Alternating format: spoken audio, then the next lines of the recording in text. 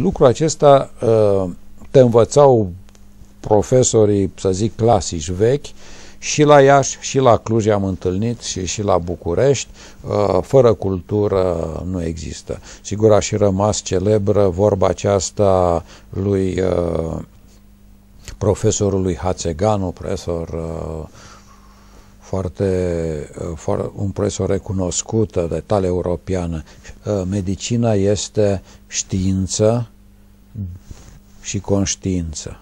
Și uh, noi am mai adăugat în ultima vreme uh, că ar trebui să fie și credință.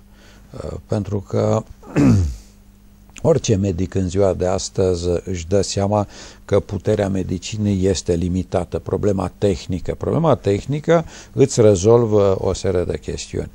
Dar dacă organismul nu luptă și tu nu reușești ca medic să-l ajuți pe pacient să stimuleze toate resorturile sale, nu poate să învingă boala. Și acest lucru cum îl faci? Doar prin spiritualitate. Tot prin spiritualitate, revin acum, mă scuzați, este și domeniul care mie îmi place, uh, eu am fost mereu criticat, uh, pe asta ce face, medicina sau popie? Având deci, în vedere că sunteți și profesor la da, Universitatea de Teologie. Vulgar, mi se mai aruncă așa peste nas aceste chestiuni. Vreau să le spun acestor distinși uh, domni și doamne. Uh, în această societate bulversată în care trăim, a fost, uh, a fost schimbat și raportul dintre oameni, inclusiv dintre, dintre medic și pacientul lui, dintre medic și medic, dintre medic și asistentă. Uh, sunt multe cauze care au dus. Uh, supra-tehnicizarea actului medical, bolnavul se crede depersonalizat, este un număr de salon și de pat, du la radiografie, vino cât să știe foarte bine că în medicina curentă pe care noi o practicăm, o anamneză corectă și un consult clinic au o mult mai mare importanță decât uh, un aparat sofisticat care îți ia analiză și așa mai departe, care de multe ori te încurcă. Dar în zgona după tehnică și oamenii cer, pune-mă la aparatul cu tare, la cutare, la cutare. Sigur, sunt tehnici de vârf, un transplant, uh, o operație sofisticată, care are nevoie de tehnică. Dar în 80% din cazuri, consultul clinic este cel mai important și un medic serios, un medic conștient nu trece la tehnică până ce nu stă de vorbă cu pacientul și până ce nu-l consultă prin uh, metodele clasice.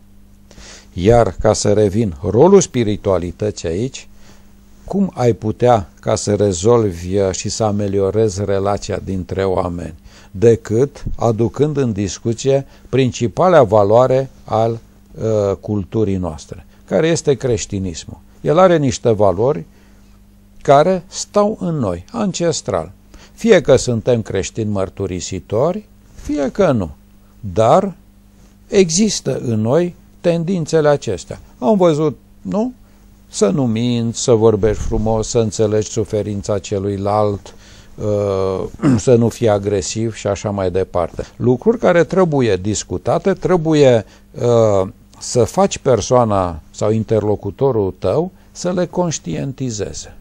Și atunci cred, cred că îți atingi uh, scopul. Pentru că însăși dintr-o discuție Uh, însă este o terapie. O discuție este o terapie. Partea proastă este că nu avem timp. Noi nu avem timp să discutăm. Este un lucru extraordinar de, de, de rău uh, în societatea În general modernă. nu prea avem timp de nimic. Sau ne place să spunem asta Nu ne place să nu, să nu spune, să, să spunem aceasta. Îi văd și pe studenți la facultate. Uh, unii sunt băieți foarte buni.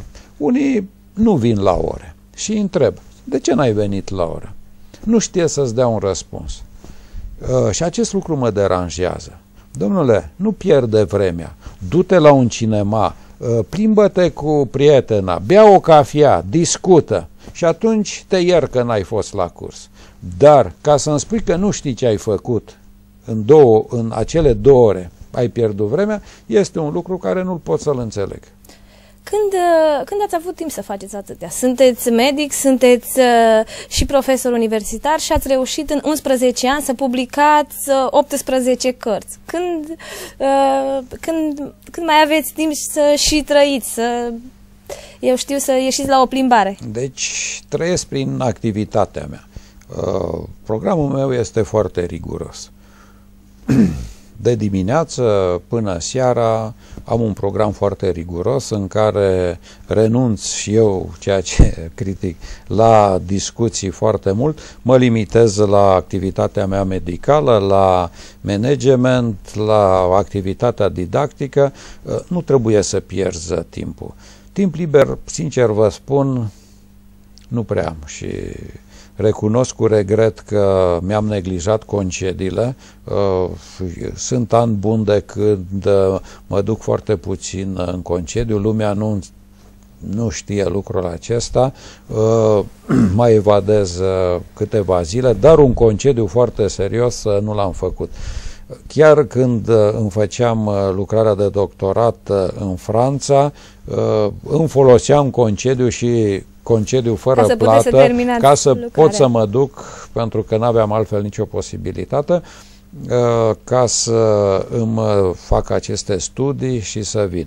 Sigur, trebuie o rigurozitate mare, dar trebuie să-ți găsești plăcerea muncii și când ai plăcerea muncii, atunci poate nici nu ești așa de obosit. Uh, trec de la o activitate la alta cu mare ușurință, am această capacitate să trec de la una la alta și eu uh, vreau să cred în mine că caut să fac cât de bine uh, lucru și să-l împlinesc. Din păcate mai avem mai puțin de 3 minute la dispoziție. Am avut uh, foarte multe teme de discuție, nu am apucat, poate o să mai o să reușim să le discutăm într-o altă emisiune. O ultimă întrebare aș vrea, dacă ați putea să dați timpul înapoi, ce ați schimba în viața dumneavoastră sau ce ați face, ce ați face în plus? Sau la care moment v-ați întoarce? Ați urma același curs? Da, aș urma același curs cu nostalgia tinereții. Uh, am avut o tinerețe, repetă, foarte frumoasă. Uh, de mic uh, am și trăit într-o familie foarte frumoasă, cu multă dragoste. Uh, am fost înconjurat de dragoste uh, la familia naturală, sunt înconjurat de dragoste și în familia pe care mi-am făcut-o eu și nu regret absolut nimic uh, din ce am făcut, uh, doar că timpul trece foarte repede și trebuie să ne împăcăm cu uh, trecerea lui. Vreau să vă mulțumesc foarte mult pentru participarea la emisiune. Dumneavoastră, doamnelor și domnilor, vreau să vă mulțumesc că ați rămas alături de mine. Având în vedere că astăzi este Sfântul Ion, aș vrea să urez tuturor celor care poartă acest nume sau uh, derivate ale, nume, ale numelui de Ion uh, toate cele bune și la mulți ani. Noi ne revedem uh, săptămâna viitoare la aceeași ore, la aceeași oră să redescoperim momente de viață. Vă mulțumesc încă o dată. La revedere! fiind la început uh, de an nou, uh, vreau ca să urez uh, un an bun, plin de sănătate și plin de iubire pentru toată lumea. Bună seara! La revedere!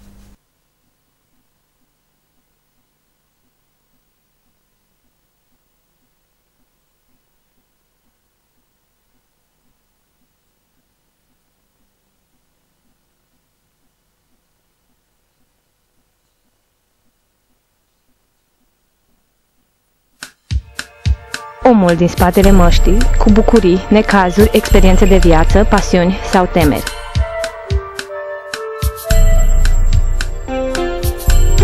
Este o poveste cât se poate de reală a fiecărui invitat.